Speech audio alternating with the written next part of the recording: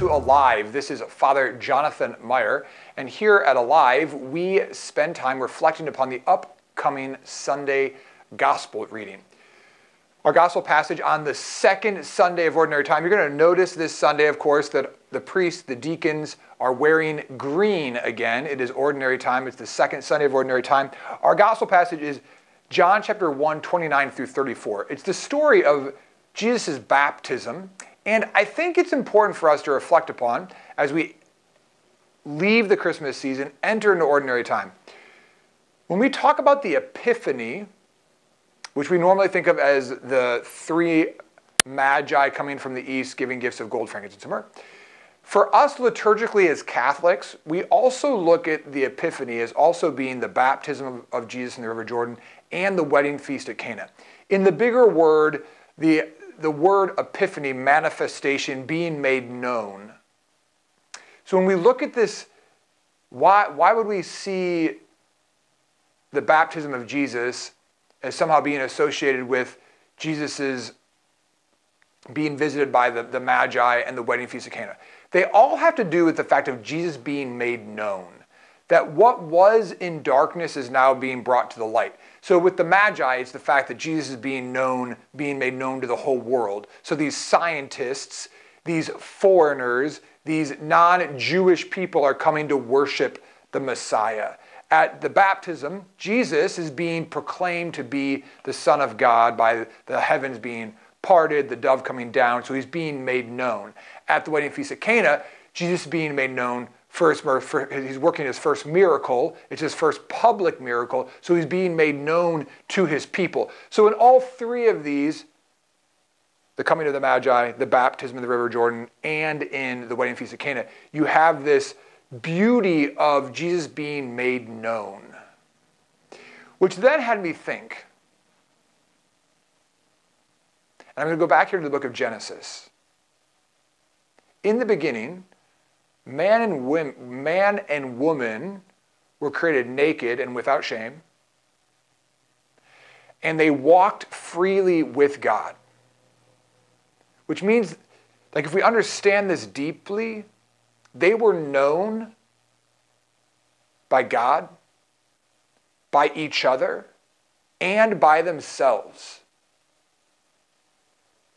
Think about how much of our life is about us hiding from ourselves, hiding from others, and hiding from God. Let's break that down just a little bit.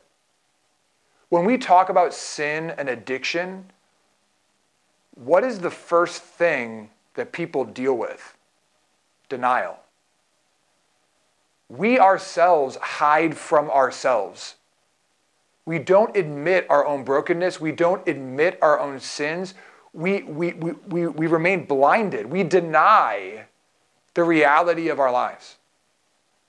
We hide then also from others, right? So when we have a sin or a struggle or a difficulty, we don't want anybody else to know about it. So we hide it from others. This is like you know little kids who are sneaking candy or sneaking cookies Eventually, this is people who hide their alcoholism, you know, in, in big degrees. But then we also then we hide from God. We run from God. And this is exactly what happened in the beginning. When Adam and Eve sinned, they hid from each other. They hid from God.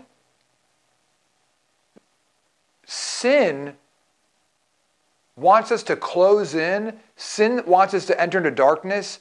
Sin has this ability to close us in and wrap us in ourselves and hide.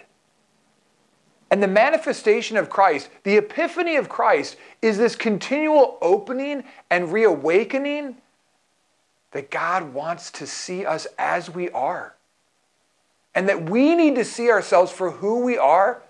But the reality is that we're not our sin, we're not our addiction, we're not our brokenness. Who are we? Children of God. We're baptized believers. We're sons and daughters of a king. We're good. And because of that, we're then called to see our brothers and sisters as good. We're called to see our friends as good. We're called to see our spouse as good. It's all, I think there's so much wrapped up in people living in the darkness and in the sin and the brokenness of their own lives instead of in the freedom and the revelation of who we are as sons and daughters. So, my brothers and sisters, I just want to invite us as we close the Christmas season, as we enter to ordinary time. What are you hiding in your life? Are you hiding from yourself? Are you hiding from others? Are you hiding from God? What are you hiding why are you hiding it? And I will tell you that there is freedom when we allow ourselves to be found. There is freedom when we allow ourselves to be found. So Christ was found today in the river Jordan. His Father proclaimed him, the, the Spirit descended upon him. In God, there are no secrets. In God, there is no denial. In God, there is no shame. And so let's enter into that uh, as we enter into ordinary time and to live in the freedom of the daughters and sons of God. I want to thank again the many of you who joined us for Peace on Earth. Uh, we are so thankful for all of you uh, being with us. And of course, these are our weekly reflections. There's also discussion questions you can find um, on our parish website, allsaintscatholic.net, if you'd like to form a small group. And then also, just to know that we'll begin our daily reflections for Lent, beginning on Ash Wednesday, which this year is February the 22nd. I want to encourage you just to, right now, just be thinking like, who can I be inviting into that? Who do I know that needs peace, that needs joy, that needs purpose? Because we are not called to live this alone. We're called to live this as brothers and sisters. So, blessings to you. Thank you for joining us for Alive, and have a blessed week.